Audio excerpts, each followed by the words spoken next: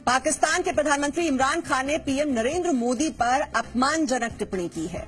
भारत पाकिस्तान विदेश मंत्रियों की बैठक रद्द करने के भारत के फैसले पर सवाल उठाते हुए इमरान खान ने ये विवाद ट्वीट किया है।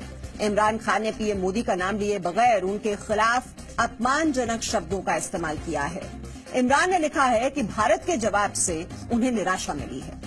इमरान ने ट्वीट कर लिखा, शांति बहाली के लिए मेरी शांति वार्ता की शुरुआत की पहल पर भारत के अहंकारी और नकारात्मक जवाब से बहुत निराश हूँ। हालाँकि मैं अपनी पूरी ज़िंदगी छोटे लोगों से मिला हूँ जो बड़े दफ्तरों में ऊँचे पदों पर बैठे हैं, लेकिन इनके पास दूरदर्शी सोच नहीं है।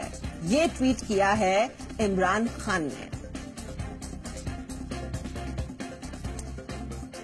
पाकिस्तान के विदेश मंत्रालय की ओर से जो बयान जारी किया गया है, उसके बारे में भी आपको बता दें, पाकिस्तान की सरकार भारतीय विदेश मंत्रालय के फैसले से बेहद निराश है। 24 घंटे के अंदर बैठक रद्द करने की बताई गई वजह समझ में नहीं आ रही है। भारतीय विदेश मंत्रालय ने पाकिस्तान पीएम के बारे में जो कुछ कहा, वो दुर्भाग्यपूर्ण है। भारत ने एक बार फिर शांति और विकास कायम करने का गंभीर मौका गंवा दिया।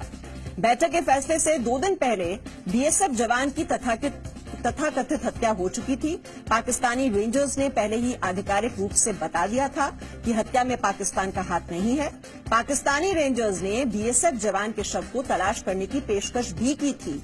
ये सारे तथ्य भारत सरकार को पहले ही पता थे। इसके बावजूद पाकिस्तान के खिलाफ दुष्प्रचार जारी रहा।